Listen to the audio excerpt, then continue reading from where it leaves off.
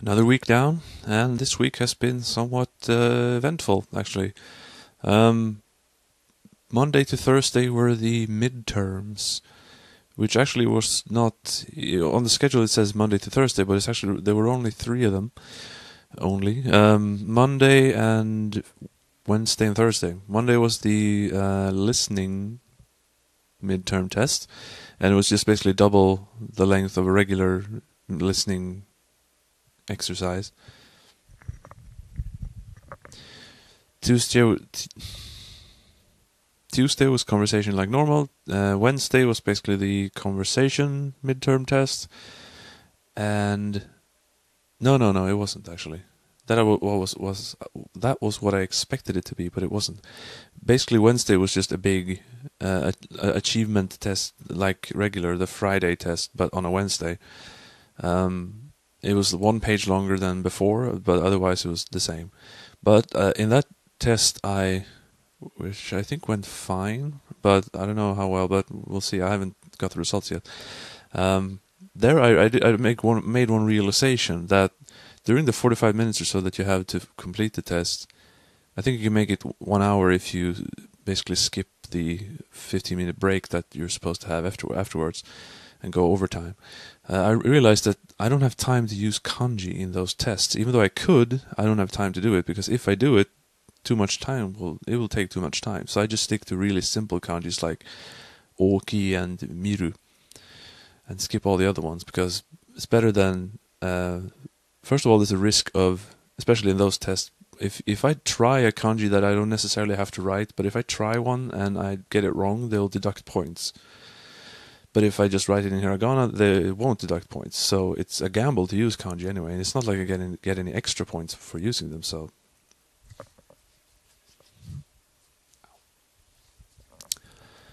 Thursday was the reading comp- no uh, yes reading comprehension midterm test, and that I think I did pretty well with because reading is probably my best subject because I've been that's a lot of what I've been spent been spending my time with for these uh, last few years, reading games stuff and games manuals and strategy guides and that kind of stuff, and trying to understand and looking up stuff.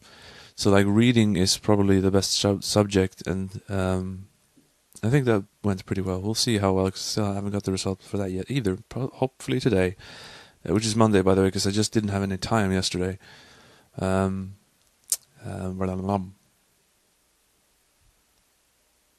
And on the Friday, we went on a school trip. Apparently, once per term, there's a school trip. And this time we went to, the first time for me anyway, we went to Kyoto Botanical Gardens, uh, which was a few stations before Kokusai Kaikan. So it's like the, one of the more, little more north uh, subway stations. And it was just a big garden. Yeah, it had trees, it had flowers, it had a fountain, it had uh, uh, people uh, chillaxing and other stuff. A lot of old people though, because I guess you know old people have a lot of free time on their hands. Uh, and we got this um, uh, collection of papers, and we were supposed to go uh, look for flowers and write the name down, names down, and that kind of stuff. Uh, and interviewed three Japanese people about the, like their favorite flowers and if they're raising any plants at home or anything like that, and it went fine. It's just, just that we came across one old guy who, while he was nice and he did answer the questions, he talked for like 15 minutes straight. So, like, trying to keeping the uh, the concentration level the whole time was pretty difficult. Uh, I, I zoned in and out. I would I would say. Uh, but besides the test things, did of course didn't take up the whole day. Uh, so we kept we doing did more kanji, of course. Uh, m- most of the stuff I already know, like usual, except like again some of the drawing order stuff is different from what I've learned, and I don't want to change now. Um, and with like grammar stuff, we did. The one thing that I remember right now is the really confusing uh, swamp of receiving and giving, which is not as easy as ageru and morau, let me tell you, uh, because it depends on uh, the politeness level. If someone gives me something who is my uh, superior, that's a different word. And if I give someone who's my inferior, so to speak, there's a different word. And it's also the difference between I received from someone and someone gave, or what was it? Someone gave something to someone else, and then if it's from like up and down, and I'll try to do like a quick diagram of that because I, I need it for practice anyway, but it's, yeah, it's a little difficult and confusing to say the least. And when the example sentences don't have watashi wa or whoever it, it's actually happening to, it gets that much easier to guess, sort of. Anyway, right now it feels like guess, guesswork. Hopefully, I will uh, learn it in the future. I've had there's been good weather this week. Uh, it's been a good week in general, and um, oh yeah, uh, now I'm going to move over to games and there's a lot of them. Uh, again, um, I didn't really want to because actually last week I said I was getting a little tired of uh, running around looking for games, but it just so happened that I actually on either Monday or Tuesday, I don't remember, I went to the A2 store here in Kyoto again to buy one more game, pretty much the Popeye game that I saw. So I went there, I bought that game. Uh, I didn't basically, I was like itching for it a little bit, and I want, didn't want it to get away from me uh, because the only other time I've seen it, it was eight thousand for for the box uh, also, uh, and it's a weird game. It's like a mixture between a board game and a side scroller because like it's kind of like Mario Party, but instead of mini games, when you get to certain spaces, you go into like a side-scrolling level. You have to collect hearts or something to beat the stage. Uh, walking around and on the um, board is like this uh, guy Bluto, I guess, and some bird. And if you they run into you, you have to have a little boss fight with them. And uh, usually within those, you get uh, spinach and get to punch them, punch their lights out. It's an interesting game. Uh, but actually, when I got that one, I after I got it, I just st- stood again to look at the wall of Super Nintendo games again. And uh, as I was looking, a guy came up next to me and I looked over to see who it was, and it was uh, not a Japanese guy; it was a foreigner. Uh, so I just kind of randomly asked him, "Hey, you looking for anything in particular?" And he was like, "Yeah, a lot of things actually." And then, and I was asking, kept asking me like, "Yeah, what are you looking for? Like maybe I can help you find something because I've been here three times now." So it turns out he's a big retro game finder and collector too, and he's on a trip through Japan pretty much with his wife looking for all sorts of sorts of retro games. Um, so that was fun. We basically went through kind of the entire store looking for looking at things and looking for things. He's big into shoot 'em ups, uh, aka uh, horizontal and vertical shooters, which is my worst genre. Like I'm so uh, bad at those games. Uh, probably the only uh, genre that I'm worse at is stealth games. But yeah, and so then it happened that uh, when we separated, we um, uh, exchanged Facebooks, and then he wrote me the next two days saying like, "I'm going af- after in the evening. I'm going to this uh, hard off back over here, and, uh, and then this video game store, and like, um, want to come with?" And I'm like, "Well, I first it was like hard off, and I already been to, but like, sure. I mean, he's only only only here for a few days, so." And he was a really nice person. So yeah, why not? But then, of course, when I got there, there I found some games that I wanted to buy, and the other place too. And then he told me there's another A2 in Tokyo uh, that also you know has games, of course, because it's a video game store. So then I, f- I can't, I can't let the video game store be here and not go and go and see what they have. So I bought a bunch of more games at like three or four different places. So here are they. I'm going to start with Famicom games. I got three of them. King Kong 2. Ikari no Megaton Punch. Ikari. Yeah, so Megaton Punch of Rage or Anger. And it's uh, yeah the King. It's called King Kong 2. There is no King Kong 1. King Kong 1 game. This is more like Gremlins 2 on the the NES Famicom. Made by Konami. It's overhead uh, punching and rock throwing action. Uh, decent music, decent gameplay, um, really cheap, and yeah, it's by the way, it's called King Kong 2 because it's based on King Kong Lives, the sequel to the 1979, 80, 81, I don't know, something like that, King Kong remake. So yeah, King Kong 2. They should have just called it King Kong. They didn't have to call it. Uh, in Japan, by the way, King Kong Lives was called King Kong 2. That's why it's called King Kong 2 and not King Kong Lives, the game. Would, King Kong Lives, Lives would actually have been kind of a better title. Because when you put a 2 out at the end, people assume that there was a 1. So, kind of like Goonies 2 came out in, in Europe and America, but there was no Go- Goonies 1, even though there was no movie Goonies 2 either. So, the whole thing is confusing. Next, I got Mad City, aka The Adventures of The Adventures of Bayou Billy, or however that sounds. Here he looks less retarded and more like Crocodile Dundee, which is a decided upgrade. Now, Adventures of Bayou Billy is seen as a shit game for uh, American Western audiences, but uh, because of its really bad uh, beat 'em up parts. But the Japanese version is better, I heard, so that's why I wanted to get it, and I found it for only 500 yen. It has a mixture of beat 'em up uh, and uh, sh- like zapper shooting, but you can also just use the crosshair with the D-pad and driving stages. But the Japanese version has like a more stages, has more endings, has uh, more forgiving um, beat 'em up controls. It's just better in all regards. So, lastly on Famicom.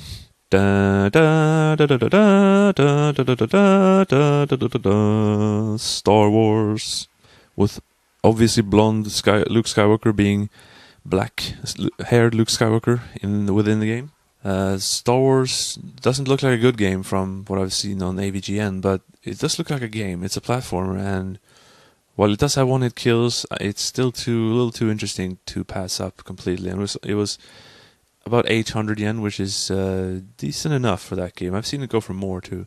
It's also kind of fun when you boot up the game. They made the Namco logo in logo look like the 20th Century Fox logo, and it's called like, if I remember right now, it's uh, Future Creator Namco. So it's like, huh, all right, interesting. But of course, there's not like the uh, Fox music is not there, of course. But yeah, uh, okay game still though. Hmm? Biohazard, Gun Survivor. And yeah, it's uh, Resident Evil Survivor with light gun support and with the same awful, awful voice acting, but lovely, awful. And now for Super Nintendo, I got Kamaitachi no Yoru, which I already have actually back in Sweden, but since I don't, I didn't bring it with me, the box especially, and since I'm planning to maybe go to the hotel, the real uh, ski lodge hotel in Japan near Nagano, where this game, the photos from this game were, were actually shot. I wanted to have it boxed so I could potentially have the owner of the hotel sign it for me or something. So I need needed to have the box. Magical Taruruto-kun. Now I didn't really like either of the Taru- Taruruto-kun games for Famicom, but I did buy the one for Mega Drive, which was made by Game Freak, uh, which uh, makes it interesting. And then this one, and this one on Super Nintendo looks more like the Famicom one, so it doesn't look great. It has um, uh, no special controls really, and uh, one hit kills. But I, I at least it was really cheap, so I just I, for 350 yens, like I'll try most anything. So I'll give it a chance before I might get rid of it. If it's if it's like the Famicom games, I'll probably get rid of it. Space Funky Bob or B.O.B. An oddly odd platformer, made by I think European developers, probably English, but I don't know.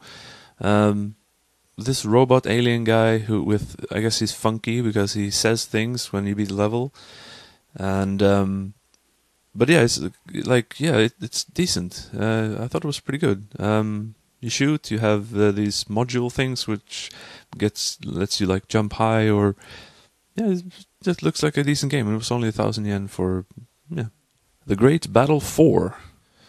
The Great Battle 4, I passed on it. Uh, I actually I had it a long time ago, and then I sold it because I couldn't figure out any of the boss fights, which are admittedly really hard to figure out.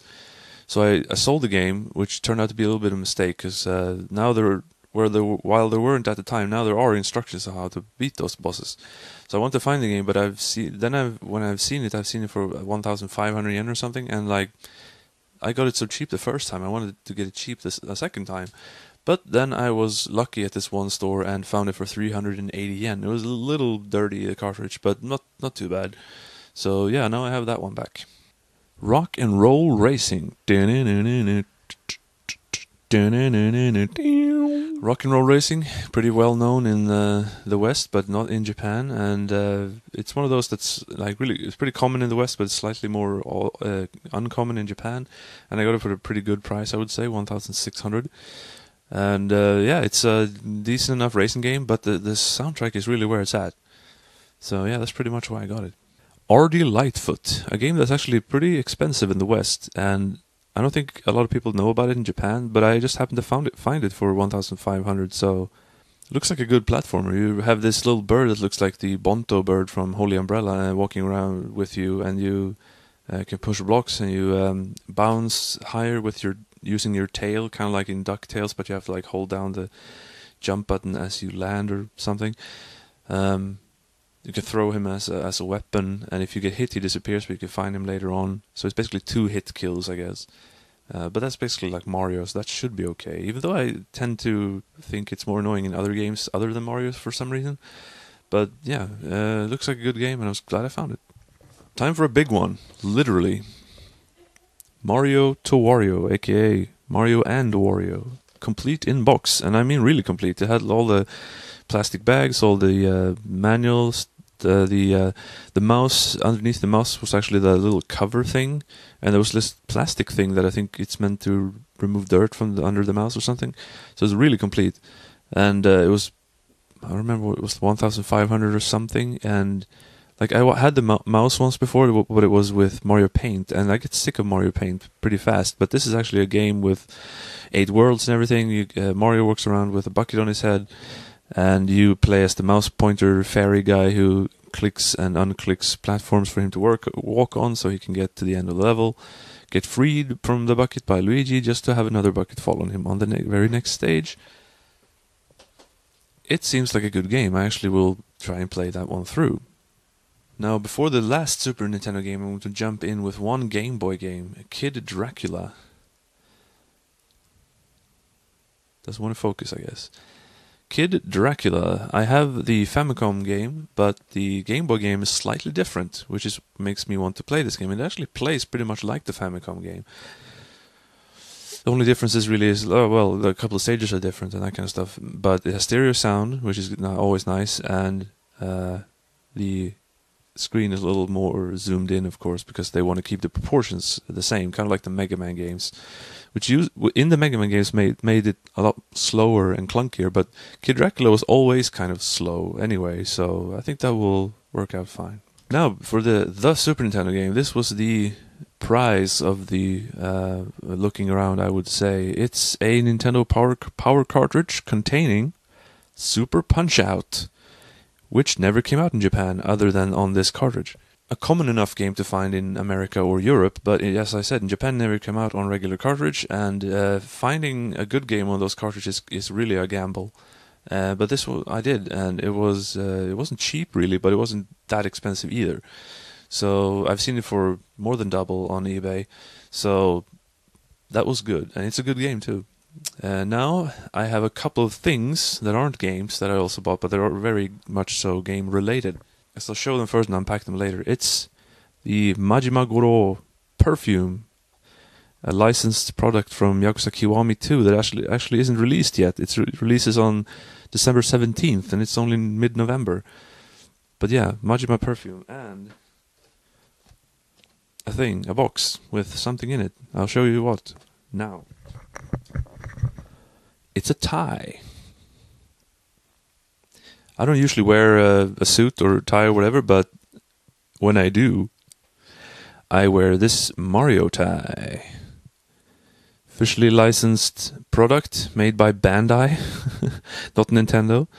Uh, it just looks like any any old tie, but it has a little Mario down there, and then uh, in the back where no nobody would ever see it, another Mario. Now for the perfume. Kiryu-chan.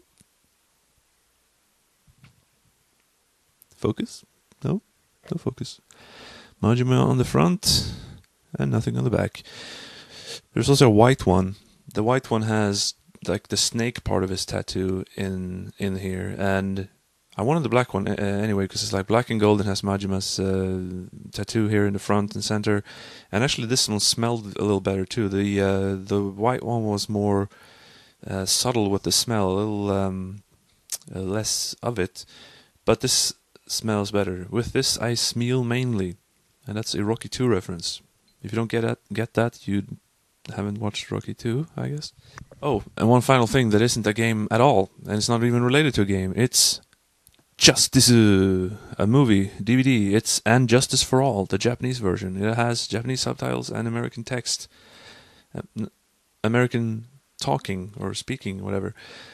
I re- it's one of my absolute favorite Al Pacino movies, and I will I will try to watch it with a Japanese person uh, Persian person at some point because they deserve to see this movie. Justice too bad they didn't have they used the they didn't use the poster where he's pointing, uh, which you know was the possible inspiration for um, Phoenix Wright. Would be really cool to interview to ask someone from Capcom if this movie at all um, uh, inspired Phoenix Wright because he has strong sense of justice and he actually says hold it at one point. So not to mention uh, the the point thing. Uh, so yeah, great movie. Hopefully, we'll get to introduce it to a Japanese person at some point. So another good week in Japan, and now the next week is coming up, and it has regular stuff. Uh, I watched Italy and Sweden play, and Sweden won, so we actually have a good chance now to get to the World Cup next year, which would be awesome to watch the World Cup here in Japan uh, as a Swedish person. If Sweden is in there, like what if Japan and Sweden got into the same group? That would be even better. Or if we met in like the round of 16 or something. Uh, tomorrow I have a meeting with the school teacher, which everyone has. It's kind of like a mini evaluation, like how's it going type of uh, conversation.